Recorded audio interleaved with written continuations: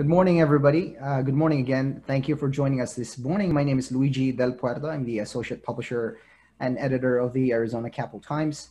Uh, if you don't have a subscription to the Arizona Capitol Times, let me know. Please let me know. That's the best gift you can give yourself this summer. Um, we have a lot to discuss this morning. But first, I want to thank our sponsors. The 336 mile long Central Arizona project is a monument to long term long term thinking in Arizona. In the early 20th century, our leaders knew the state's future depended on a water supply that was secure, stable, and renewable. They pursued that vision, and today the canal delivers Colorado River water to central and southern Arizona, and it is the state's single largest source of water supply, serving 80% of our uh, population. Uh, so thank you again to the Central Arizona Project. Um, please welcome Lisa Atkins, board president of the Central Arizona Project for uh, short uh, intro remarks. Good morning, Luigi. Good morning, everyone. Thank you so much for allowing me a couple of minutes to welcome you to an annual event that we're very proud to participate in. I'm sure that several of my board colleagues have logged in today, and on behalf of all of the board, I'd like to welcome you to the Morning Scoop and to thank the Arizona Capitol Times for hosting this annual discussion. Of course, it goes without saying that 2020 has been quite a year, However, there's one thing you haven't had to worry about, and that's the consistent and reliable flow of water. I'm proud of the essential workers at CAP and across Arizona's water industry who have continued to work tirelessly to ensure continued access to our most precious resource, water. Today, you may hear more about the role water has played with regard to COVID. The discussion may also update you on drought contingency plan that occupied much of our focus in 2018 and 2019. And one key takeaway, I hope, is that all that effort was worth it. DCP is already doing its job to stabilize the decline of Lake Mead. And finally, you'll likely hear more about our next step, the Arizona Reconsultation Committee, which builds upon the DCP collaboration and will define the Arizona perspective as we move forward renegotiations within the Colorado River Basin. So enjoy today's program. I'm sure you're learn, you will learn a lot, as I will. Stay healthy and stay safe. Thanks, Luigi. Thank you, Lisa. And um, I want to also thank SRP uh, for sponsoring this discussion. SRP, of course, provides reliable, affordable water and power to more than 2 million people in a 2,900 square mile service area that spans uh, three Arizona counties, including most of the Phoenix metro area. Its water uh, business is one of the largest raw water suppliers in the state, delivering 800,000 acre feet of water annually to a 375 square mile service area and manages a, I'm sorry, an SRP also manages a 13,000 square mile watershed that includes an extensive system of reservoirs, wells, canals, and irrigation laterals. Here to also welcome us is Megan Martin, the Senior Government Relations Representative for SRP. Morning, Luigi, and thank you for everyone being here this morning to tune in.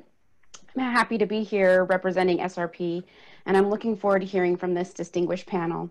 SRP is pleased to be a sponsor this morning. As a region's largest provider of raw water, and as Arizonans ourselves, we care deeply about the wise management, use, and conservation of our most vital resource.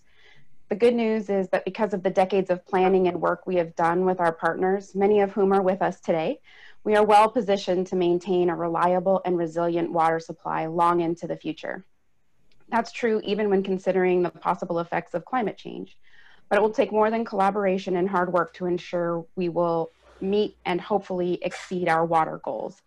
The broad diversity of our water resources is a tremendous advantage. We have surface water, underground aquifers, water stored underground for future pumping, Colorado River water through the CAP, and reclaimed wastewater. And much of the magic happens through the management of water throughout the system of dams and resources, which our experts choreograph to balance water supplies for use today and into the future. This system is our insurance policy against challenges such as drought. If you'd like to know more about how water gets from the watershed to your showerhead, I encourage you to check out the special video series we produced in partnership with Arizona PBS that's now available to 70,000 educators. You can find it on the SRP YouTube page or you can let me know and I can send you a link. The man who knows how all knows best how all of this works is Dave Roberts, SRP Associate General Manager for Water Resources, and he's one of the panelists this morning and our water guru. And that means I'm going to wrap it up and let Dave and the other panelists lead the discussion. I appreciate this opportunity and thank you for participating in this important dialogue. Thank you, Megan. And also sponsoring this uh, morning scoop is the City of Phoenix, which has been delivering clean, reliable water supply to homes, uh, businesses, industries, and other customers for more than 100 years.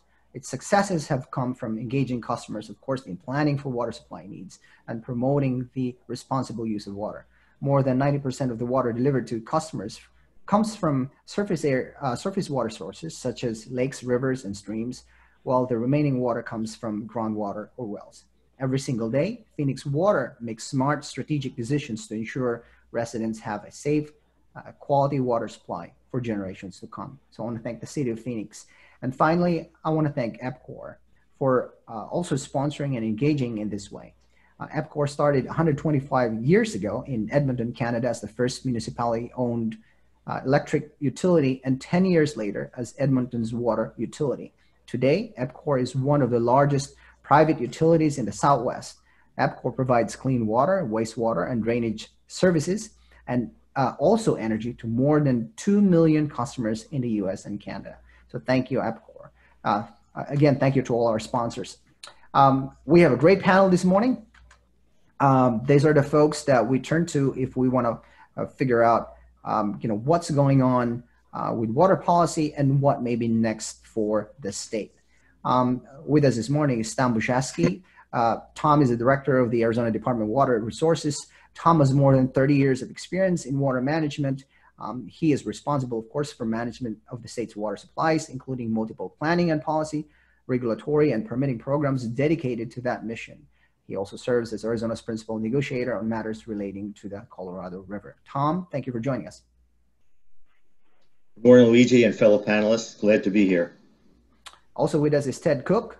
Uh, Ted is the general manager of the Central Arizona Project. Previously, he served as deputy general manager, finance and administration, uh, responsible for finance, accounting, risk management, supply chain and facilities management, information technology, environmental compliance, health and safety, S, and as well as protective services. He joined uh, CAP in 1999. Uh, Ted, thank you for joining us. Thanks, Luigi. Good morning, everyone. I'm glad to be here. Uh, also with us is Kathryn Sorensen, uh, who is the director of Phoenix Water Services, uh, which means really she makes sure our drinking water is drinkable and safe. Kathryn oversees a system that delivers drinking water to 1.5 million people, and she also manages Phoenix sewer collection system uh, and treats wastewater for 2.5 million residents here in the valley. Kathryn, thank you for joining us. Morning. Um, Thomas Loquvam is the Vice President of Corporate Services and General Counsel uh, for EPCOR USA. As Vice President of Corporate Services, uh, Thomas has oversight for developing and guiding strategic goals and objectives that align with the company's long-term vision and growth within the United States. As General Manager, uh, General Counsel, sorry, as General Counsel, he is responsible for all legal matters involving EPCOR USA and its regulated and unregulated U.S. subsidiaries, including corporate and regulatory compliance, litigation, operational agreements, and of course, management of real property issues. Thomas, thank you for joining us. Good morning. Thanks for having me. Um, and finally, we have Dave Roberts. Uh, Dave is the Associate General Ma- Manager, Water Resources for SRP. Uh, he has decades of experience in water resource management, water rights, water rights administration, and watershed management.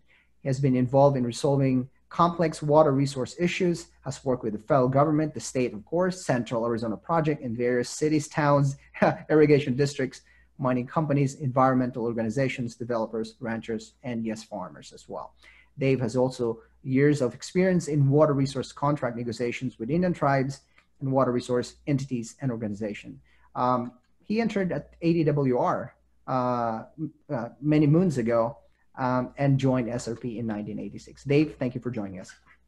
Thank you, Luigi, and good morning, everyone. Glad to be here. Um, before we start, I want to play this. Um, um, I want to share with you um, and play this video uh, from EPCOR. I think it's very relevant to our conversation this morning.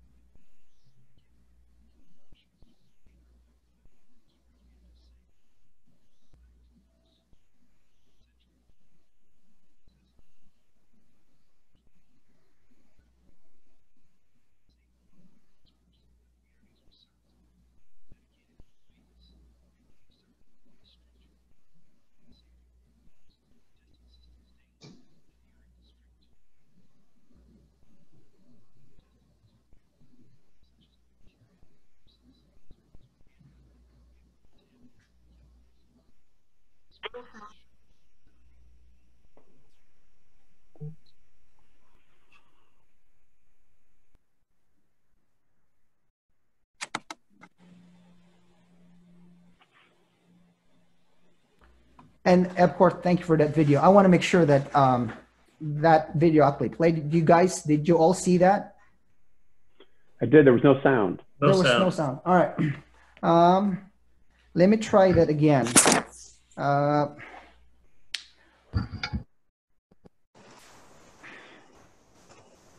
uh, my apologies for the technical difficulty, but let me uh, let me see if I can uh, share that again and works this time. One of the most important contributions we can make to slow the spread of COVID 19 is to wash our hands. It's such a simple act, yet it has become a frontline defense advocated by public health officials to maintain our livelihood and keep our communities safe. This simple act, of course, relies on an essential ingredient access to clean water. There is no higher priority for EPCOR than protecting the health and safety of our customers and the communities we serve. Our dedicated employees increase our already stringent water quality and safety protocols, testing systems daily, and adhering to strict federal and local guidelines. Our testing looks for microorganisms such as bacteria and viruses, as well as organic and inorganic contaminants and chemicals. This crisis has shown us that the value of clean water has never been higher. A steady and reliable water supply is essential to slow the spread of the novel coronavirus.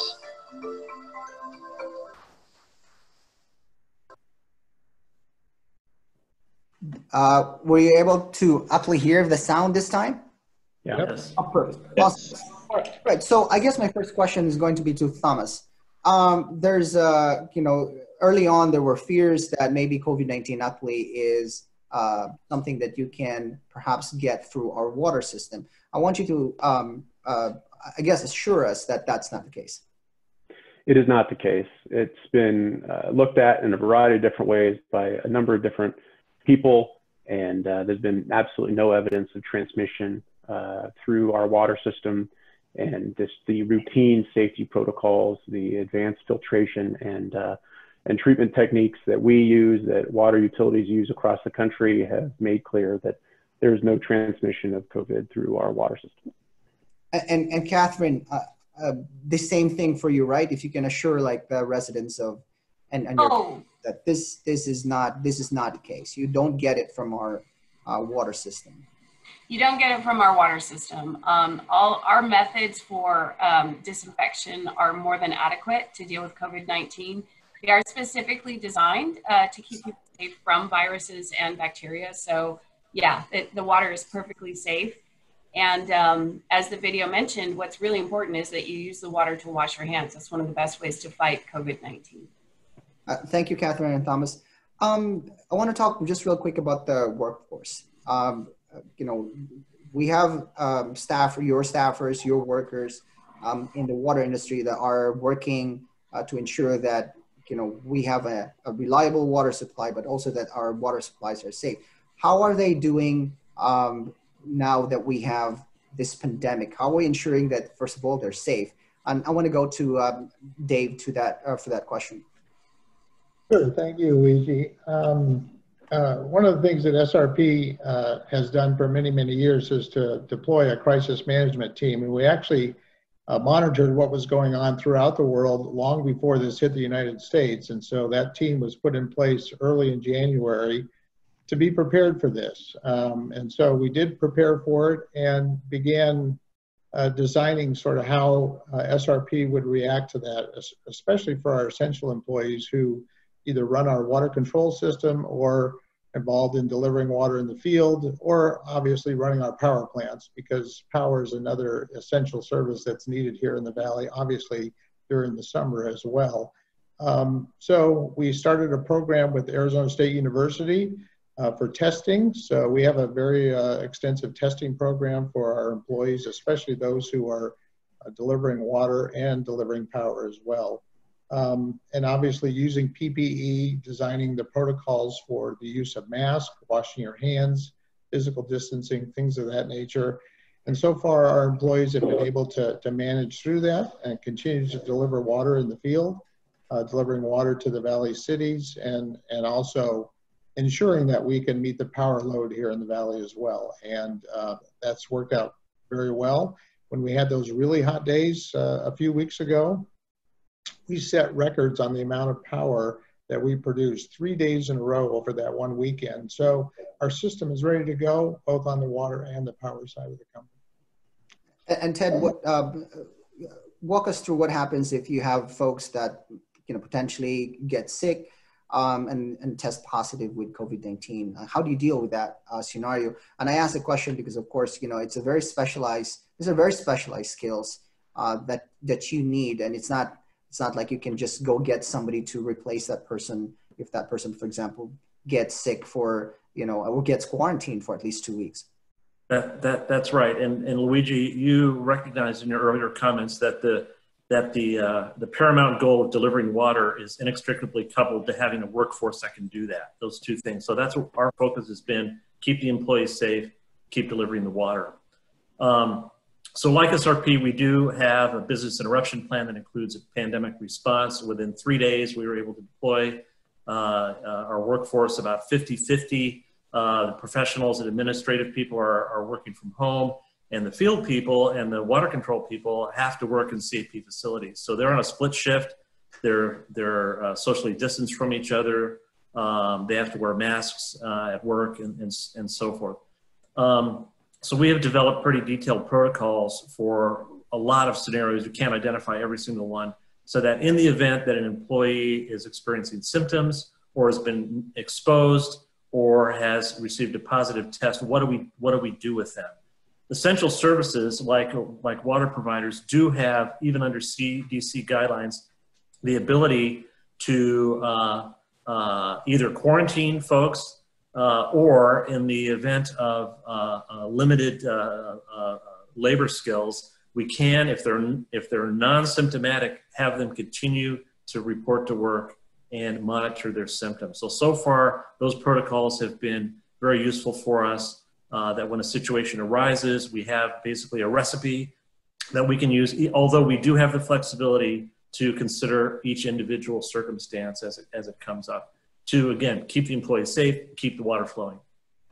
Thank you, Ted. And Tom, you're preparing for probably one of the um, uh, you know one of the biggest negotiations that we're going to have here in in in you know in, very soon. And that has to do with you know candidate water allocation uh, from the uh, Colorado River. But even as you're doing that, you know you still have other work that you need to do, and your department of is of course in charge of things that would require a lot of field work. And I wonder how you're dealing with you know this uh, work that you need to, to do the preparations that you you you know you have to do, um, you know, amidst a global pandemic.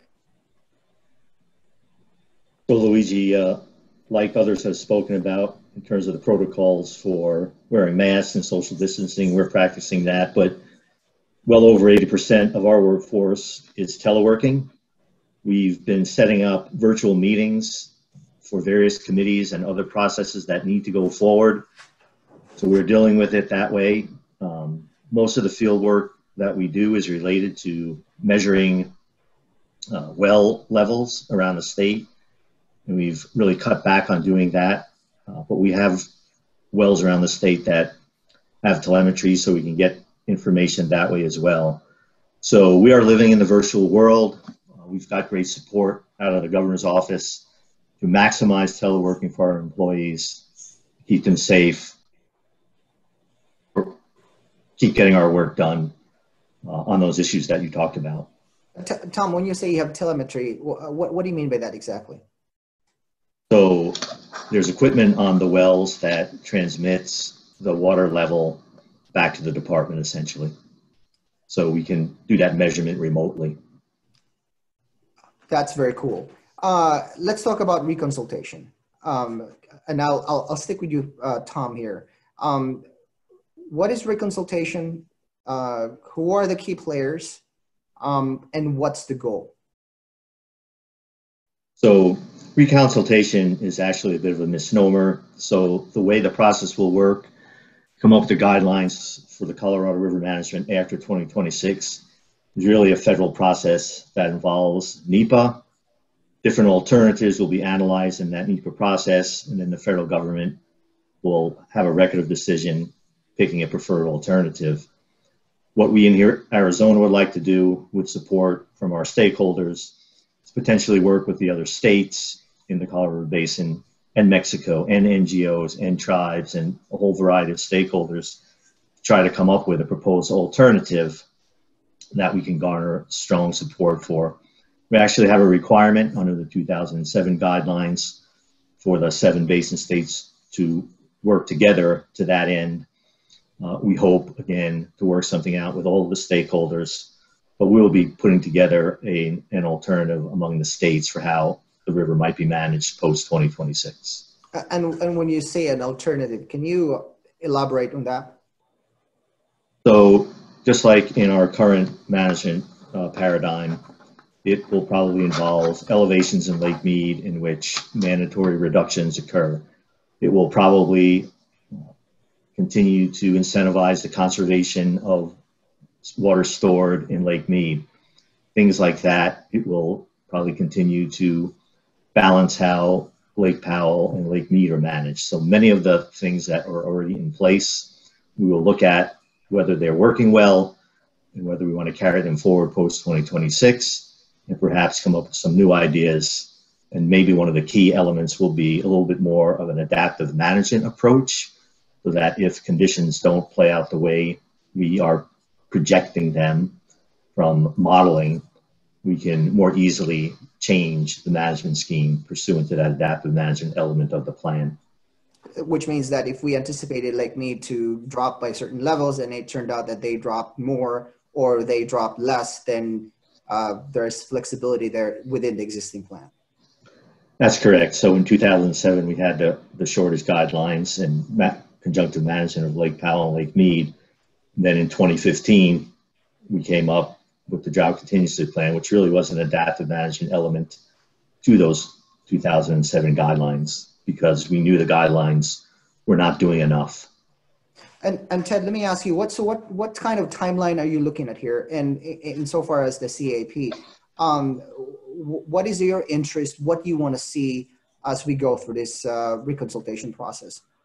Well, I think it's important to point out from the from the beginning that uh, ADWR and CAWC are uh, again co-sponsoring, co-chairing the reconsultation process uh, within Arizona, at least at least part of it, uh, uh, with with the entire uh, stakeholder committee that we had for the DCP has been reassembled and rechristened the Arizona Reconsultation Committee. So we're working together on this, and CAP's goals are aligned uh, with with ADWR's goals in this respect. Um, as Tom mentioned, the reconsultation will differ from the DCP, which is our most recent experience. The DCP in Arizona was an implementation plan. Uh, and, and it, it, was an intense effort, but it was over a relatively short period of time, several months. The reconsultation will take probably all of the time that we have between now and 2026 when the current guidelines expire. And primarily that's because of the NEPA process, that even with the streamlining that the federal government is trying to implement on NEPA, it still takes a long time. It will take, it will take time to develop these uh, alternatives and select one. As, as, Tom, as Tom mentioned, uh, DCP was putting something on top of the 2007 guidelines that already exist. This will be designing something from, from scratch. It will require congressional uh, authorization at the end. It will require, at least in Arizona, uh, state legislation to get that done. So it will take it will take several years to get that done.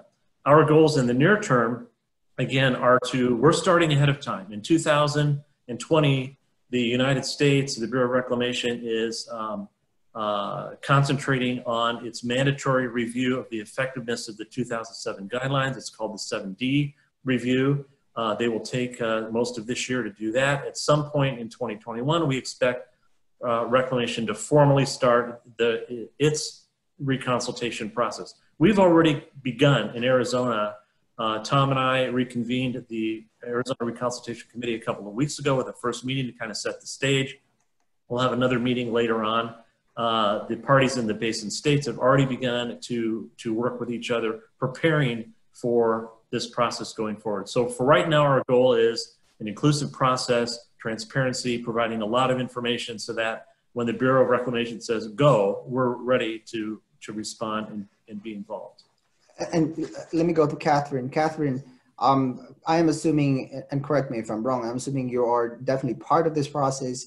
You're you're part of the uh, you know the DCP steering committee before, and and and and now you're you know I think it's and correct me if I'm wrong. It's everybody with that participated in the DCP process. We you know are also participating in this new uh, reconsultation process as well. But in so far as the city of Phoenix, what do you want to see in this reconsultation? Right. So, of course, uh, the water that we uh, receive here in central Arizona from the Colorado River system is lower in priority than the, um, the water that um, Yuma and California and Nevada and others enjoy. And so, of course, that's a concern for us uh, looking into the future where we see an overallocated river, um, where we see that climate change may actually exacerbate that problem. So our focus um, in terms of reconsultation and what comes after uh, 2026 is on enhancing the reliability of those supplies. And in our perspective, the, the best way uh, to enhance the reliability of Colorado River water supplies here in central Arizona is to address the overallocation of the river. Um, there's a lot of tools that we can use to en enhance um, uh, the Colorado River deliveries, to provide some flexibility. Um, you know, intentionally created surplus is one of those. Um, there are other agreements that we can enter into that kind of um, provide additional reliability but at the end of the day, if the Colorado River system is over allocated, our supplies are more at risk. And so we really want to address that issue head on. The best way that we see that happening is through system conservation. Um, system conservation is essentially a way to uh, keep additional water in Lake Mead. It doesn't belong to anybody. And it's one of the best ways to directly address the overallocation of the Colorado River.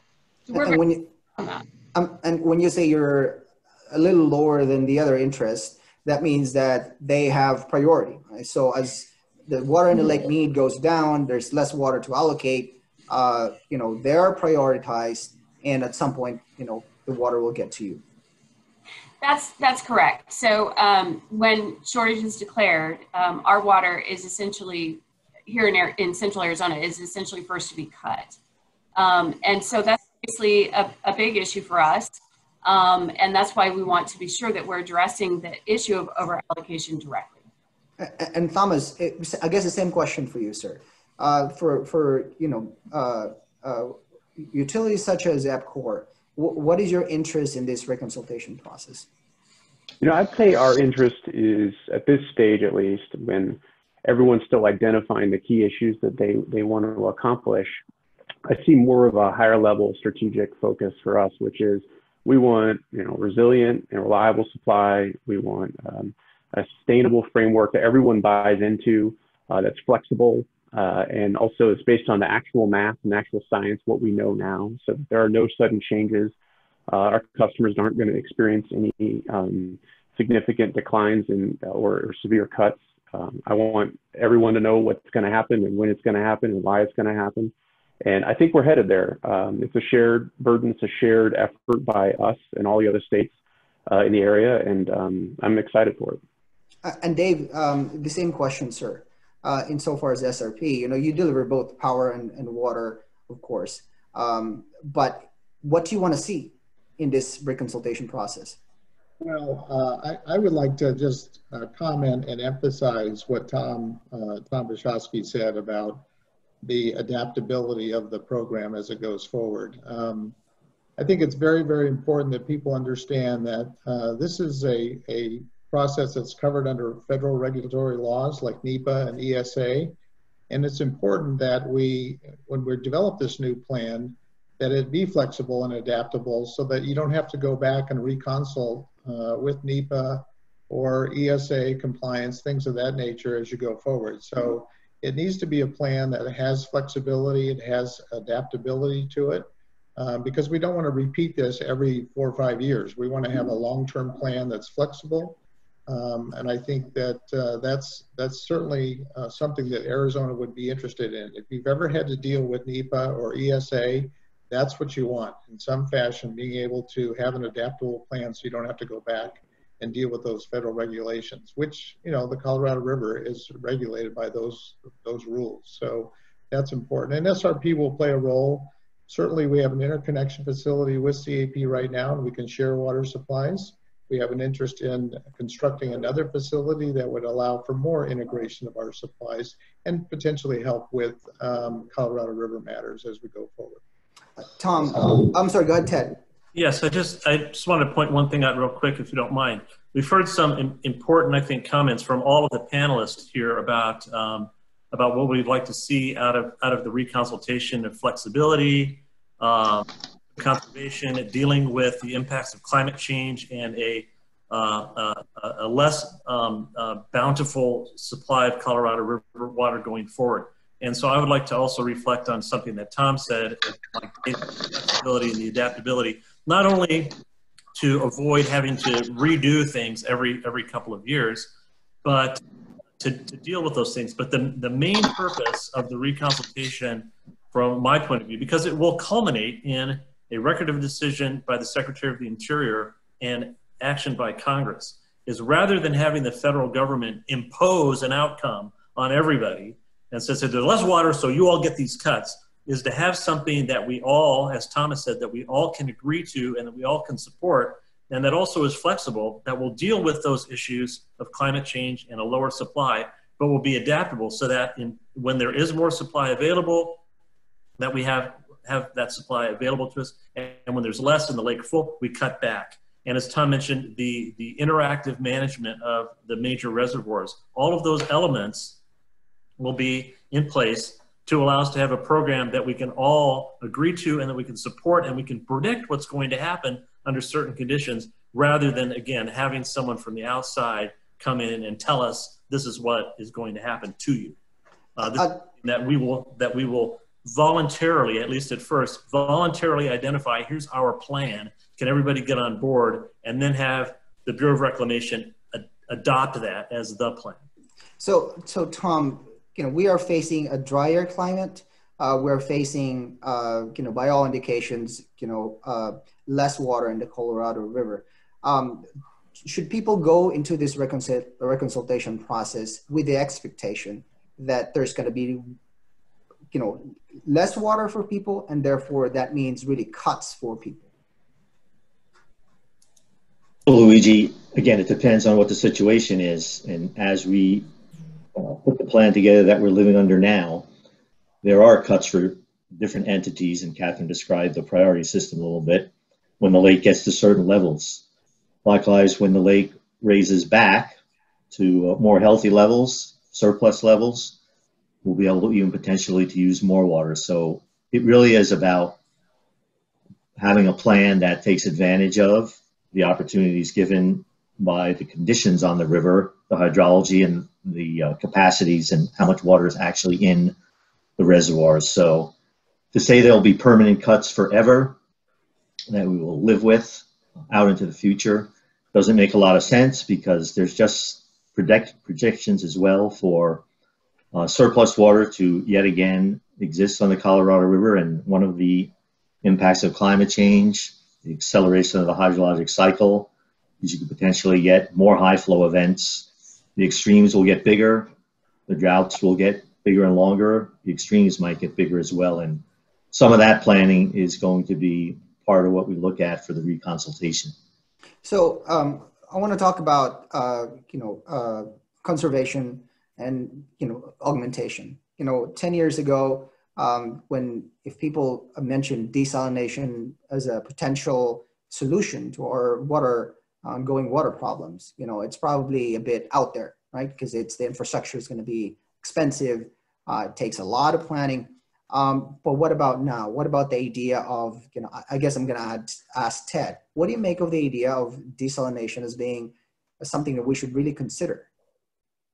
Well, um, yes, while for a long time, the major impediment, I think, to uh, large scale desalination has been the cost. But for a uh, scarce commodity and, and becoming scarcer commodity like water in our arid region, uh, at, at some point uh, the, the, the market forces will, will take care of, of the cost. When you don't have a commodity, then the amount that you're willing to pay will, will increase. Um, but contrary to a lot of public opinion, that uh, there has been a lot of work going on uh, on desalination, both uh, the ocean and also local uh, brackish groundwater supply desalination. All of the farming that has gone on in Arizona for a long time has resulted in uh, briny aquifers that are right here that, uh, that can also be desalinated. Um, I would actually like to pass the baton to Tom and ask him to comment a little bit uh, where, where our, our, primary effort from an Arizona state uh, perspective on, on uh, ocean desalination has been through conversations with Mexico uh, and, uh, and the, the minutes to the treaty with, between Mexico and the United States. Tom, go ahead, sir. So, Luigi, uh, folks can look at the U.S. International Boundary and Water Commission website. There is a report published there, maybe a couple months old, uh, that looks at opportunities in the Sea of Cortez for binational value in terms of desalination. Uh, that report was a couple years in the making. Uh, it was funded by SRP, DWR, CAP, uh, and Freeport McMoRan here in Arizona, and some other folks in California, Nevada, along with Mexico. And so there's a lot of steps to be taken to move forward with that report or actually implementing that report. Uh, the cost, I think, to deliver that water on a per acre foot basis is somewhere around $2,000 to almost $2,300 uh, a year per, uh, per acre foot uh, and it would really be exchanged is the concept right now uh, for Mexico's water down uh, in the Yuma area, Morelos Dam, et cetera. So that opportunity is there. We've done a lot of work. A lot of work yet needs to be done, uh, but that is a potential for a couple hundred thousand acre feet a year of desalinated water. And again, internally in the state, Ted mentioned brackish groundwater through the Governor's Water Augmentation, Innovation, and uh, Conservation Committee. There's a committee called the Long-Term Water Augmentation Committee. They're looking at those opportunities for desalination of that brackish water. And there are a lot of legal and technical issues that are being worked on uh, before that could become a reality. Um, Kathryn, uh, you know, the city of Phoenix has been uh, uh pumping water uh, back into the ground and storing, banking, storing water where are we in terms of our ability to actually extract those water back and and and you know and and and supply them? Right. I'm, I'm glad you asked that um, because that is an interesting story here in Arizona. We were um, very uh, early pioneers in the storage of water under um, our aquifers, uh, in our aquifers, and that's uh, a really great thing. Um, and we did that for the most part. If you look back 30 years ago, we did that really in an effort to make full use of our, our Colorado River entitlement and to keep it away from California. And we were at that time very focused on just socking that groundwater, that, that Colorado River water away in our local aquifers, knowing that there would come a time in the future when we would um, need that water. So our historic focus was on storage um, and less so on how we get that water back out of the ground. But here we are, you know, 30 odd years later, and we're facing the potential of shortage on the Colorado River next several years. Um, we really do need to turn our focus to how we get that stored water back out of the ground. Um, there is a process that is being led through DWR in partnership with the uh, cities and other water users and the CAWCD to take a look at how recovery might work. Um, but individual utilities look at that as well. So, for example, here in the city of Phoenix, um, we in, uh, about 40 years ago, we intentionally uh, started pumping less groundwater out of our fossil aquifers and started turning to the use of renewable surface water supplies through our surface water treatment plants. And that was intentional because we wanted to save those fossil groundwater supplies for the future. And that entailed a really huge investment of hundreds of millions of dollars in the infrastructure necessary to use surface water supplies. Um, and we're really proud of that. But over the course of those many decades, we also lost a lot of our groundwater pumping capacity. And so now with shortage um, a, a potential in the next several years, we're trying to rebuild that capacity. Uh, so we are drilling additional wells. Uh, and we're also um, partnering with other entities that can pump groundwater out of aquifers on our behalf. So I'm sure you've heard, for example, of our exchange with the city of Tucson. Essentially, we store some of our Colorado River water down in Tucson's aquifers. Tucson, unlike Phoenix, is um, has a huge well field. Um, they basically recharge all of their water and then pump it back out of their wells. So by partnering with Tucson and storing our water there, uh, we can ask them to recover that water on our behalf and then send uh, their Colorado River uh, surface water to City of Phoenix surface water treatment plants in exchange when we need it. So we're looking at a, a bunch of different mechanisms uh, that will all be necessary, exchanges, uh, direct recovery, indirect recovery, to make sure that when the time comes, we can pull that water back out of the ground. Um, thank you, Kathryn. Thomas, um, you know, there's one idea, uh, you know, that's uh, persist- persistently been talked about, which is to uh, modify people's behavior uh, through economics, right? So if you price your water a little bit higher to conserve water, then you know people will, in theory, less uh, use less water. I, I, wonder what you make of that option. I ask the question, of course, because you're you know supply water to residents. You know, it's an interesting question. It's something that's been front of mind for us uh, quite a bit. Uh, right now, actually, we do that through rate design, which we, over certain tiers of usage, the water gets increasingly more expensive. Uh, and that's been a policy of the Arizona Corporation Commission, uh, and I think it's been pretty successful. And of course, we don't set our own rates, uh, the ACC does. Um, but I also have to note, I mean, it's, it's a fairly political process, or at least a highly volatile process, because folks don't want to pay much for their water. It's an essential service, and they um, they want to pay a reasonable price. We're committed to that, and so we we right now focus our efforts on education, on helping customers detect leaks. I mean, we'll send people out and walk around uh, our customers' property with them to identify leaks or or teach them or send out water conservation kits. Um, but in terms of pricing itself, that's a conversation that involves a, a lot of different stakeholders um, and is uh, perennial, but um, also always unresolved. And, Luigi, and, could I jump yeah. in there real quick? Yeah, just real quick, yeah. Okay, sure. Yeah, so I wanted to comment on that because it is really important. Um, our ability to provide safe, clean, reliable water supplies is entirely dependent on the condition of our infrastructure. And uh, the infrastructure necessary to do that is it's massive and it's extremely expensive.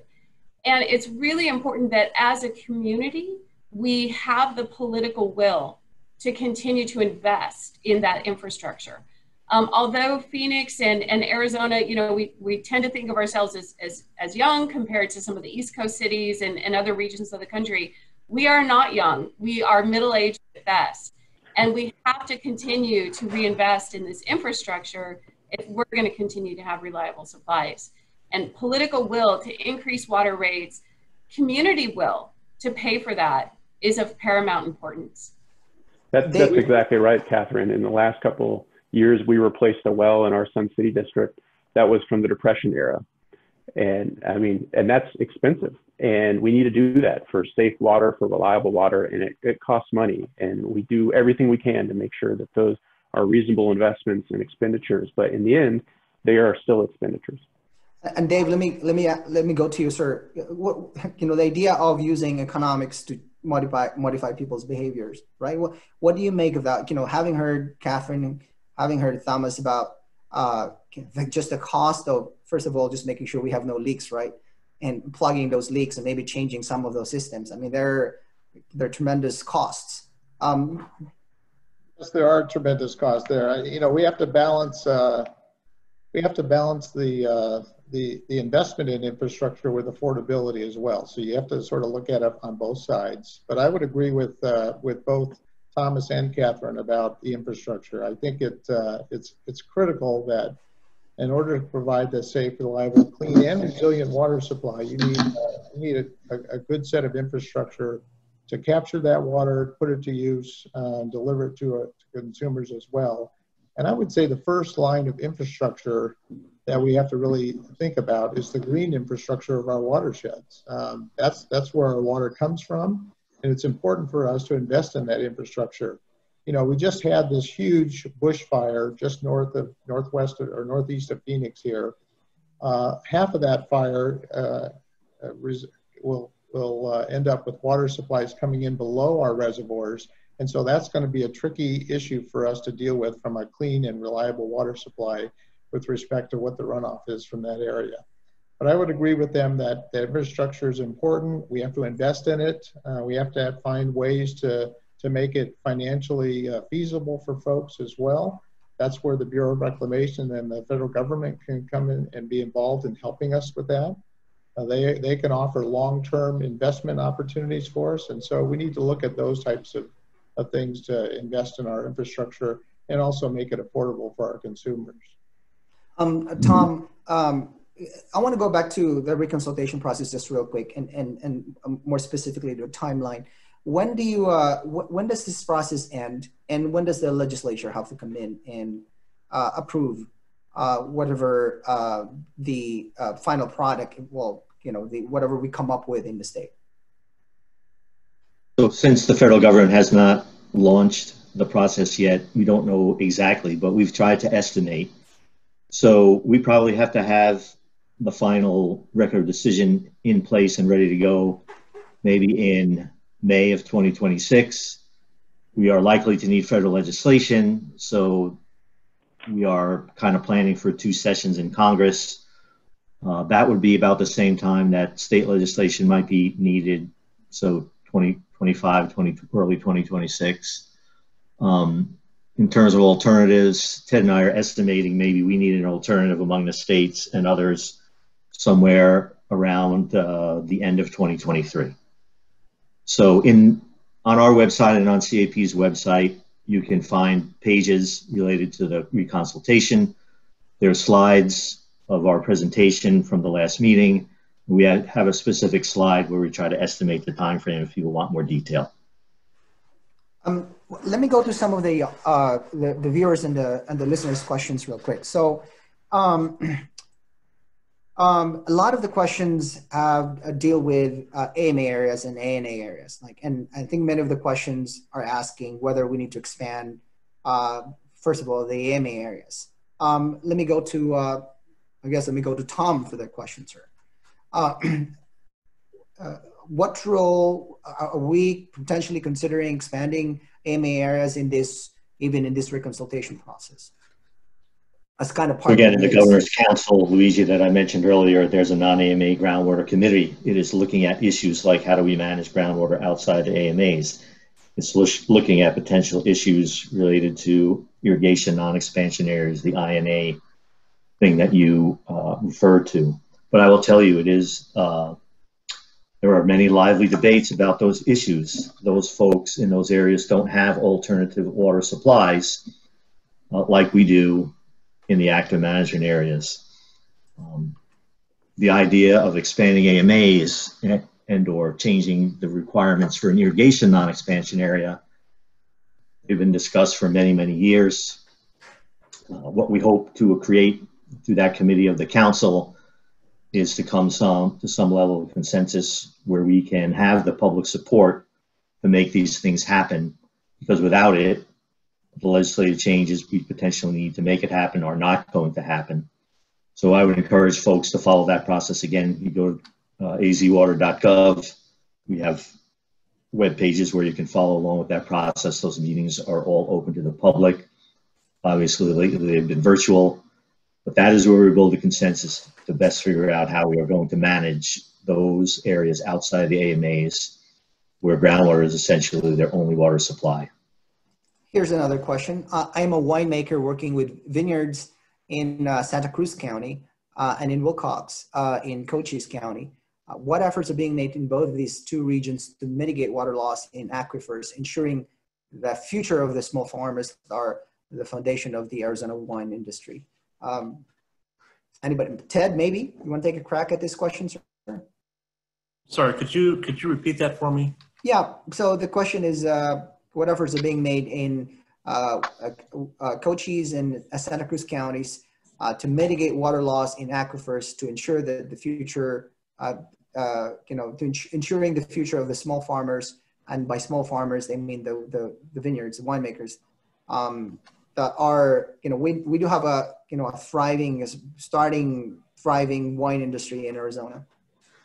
Yeah, well, actually, Luigi, I'm sorry to say this, but you're asking the wrong person. About okay, all right. All right. That's, that's, that's, I have Luigi, this is opinion, I'll but, but I shouldn't be addressing it. It's All right. outside my service area. All right, no worries. So Luigi, Really in the Santa. Cruz area, we are working on the fourth management plan for that active management area, which will be done by the end of this year. There is a AMA-wide process for the fifth management plan, which will be the next set of plans. Santa Cruz will be involved in that. In the Willcox area in 2014 and 15, there was a grassroots effort to put together some new kind of management area potentially uh, through making legislative changes. It involved winemaker representatives, farmers, ranchers, uh, private homeowners, uh, but they could not come to a consensus on a plan. But it was very heavily conservation based and incentivizing conservation. Uh, there was draft legislation floating around, but it never got introduced at the legislature. Um, th- th- thank, thank you, Tom. And Dave, you were gonna, did, did you say something there in the middle?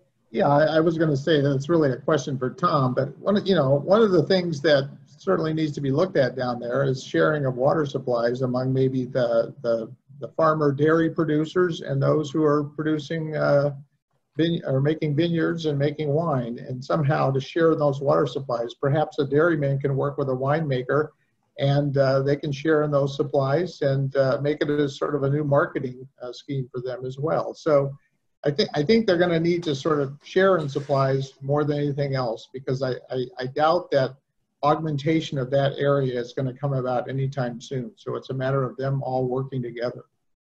I- I've gotten a So couple. Dave, the, gra- the sorry, grassroots concept, Dave, uh, in Willcox was uh, just what you were talking about. And again, it was uh, a very lively debate, in some cases pitting family against family uh, in that Willcox area. And again, no consensus really came about as a result of that process. Um, many of the questions have to deal with uh, farmlands and the uh, the fear that they may be drawing water from our groundwaters, and you know, which have resulted in, or at least people are saying resulted in, uh, maybe the you know the uh, water levels for wells. Uh, uh, maybe some of them are you know have to dig deeper as a result. Uh, a lot of the questions um, also, uh, quite frankly, are specific to the issues in Cochise County. I guess it's a question for Tom. So again, I think the poster children right now are Cochise County, Mohave County, La Paz County. Uh, we just talked about Willcox, and that was part and parcel of that that issue. Uh, there was an attempt in the San Simon subbasin in the Willcox area to create an irrigation non-expansion area under the process of the law, which allowed landowners to petition the director. Uh, that was around 2015 or 16. I can't remember the exact date, but that petition was turned down. It didn't meet the requirements of the law. And one of the reasons it didn't is because it, under the law, it is difficult to project out how future pumping might play into the drawdown of the aquifers. It's really about the pumping at the current rates. And there are discussions about changing that law, but again, that's not happened. In Mohave and La Paz counties, there's processes underway. I mentioned the governor's council already.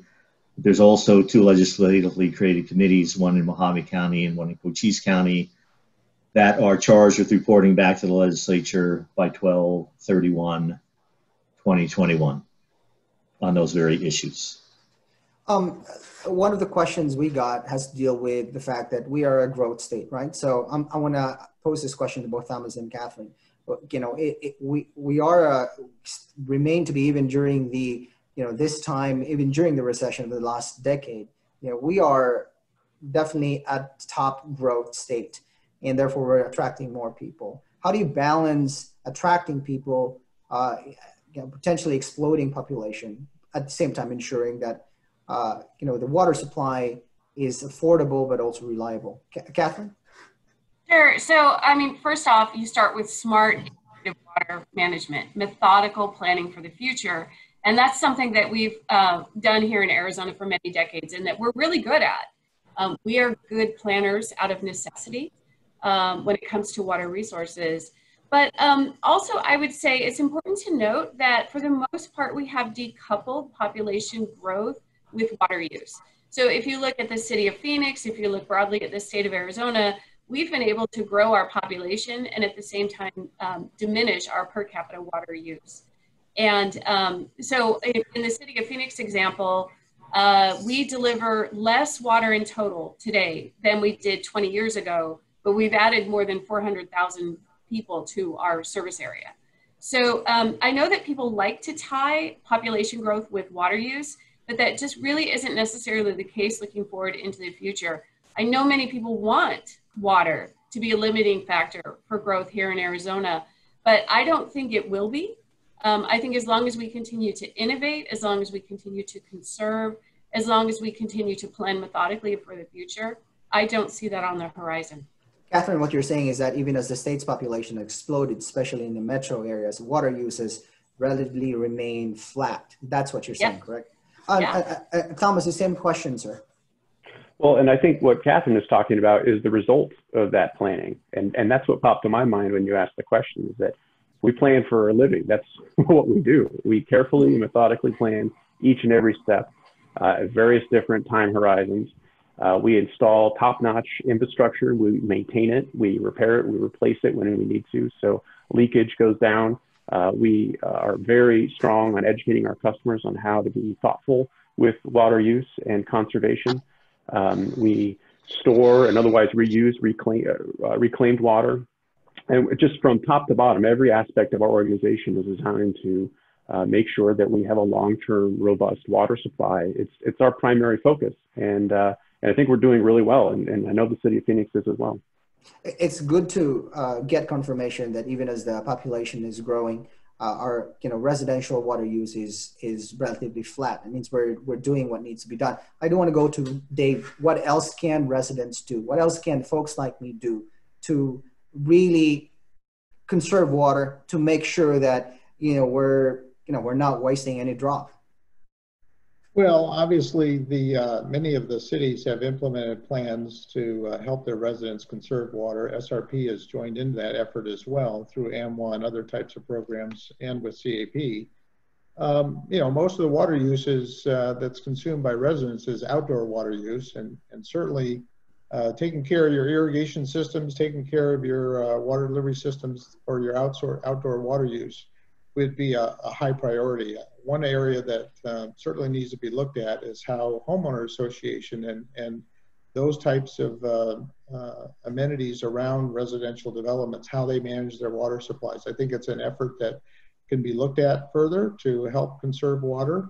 Um, and as, as Kathryn said, um, we've actually been able to um, do a good job of that over the past 20, 25 years. And it's been reflected in a lot of the data uh, that you see at the Department of Water Resources for the Phoenix AMA towards achieving safe yield. And, and unlike many, some that have been mentioning that we're uh, in dire straits, I think we, we have made good progress toward reaching safe yield in the Phoenix AMA. And I think uh, it's a bright future with respect to uh, achieving that goal going forward. So uh, I, th I think the residents have done a good job, and but I think there's more to do as well. Um, we, I'm sorry, did Oh, okay. So um, I think we are pretty much out of time. I really want to thank all of you for spending the morning with us. Uh, you know, I'm a reporter, so I'm, I'm just learning a lot. Uh, I, and I've learned a lot from this morning. Uh, Tom, uh, thank you. Thomas, thank you. Kathryn, thank you. Uh, Ted, thank you. And Dave, thank you. Um, you enjoy the rest of your uh, day, the rest of your week. stay safe out there, and I'll see you around. Thank you, Luigi. Thanks. And to our viewers and our listeners, thank you again for spending this morning with us. Uh, likewise to you. Have a good day, and uh, I'll see you.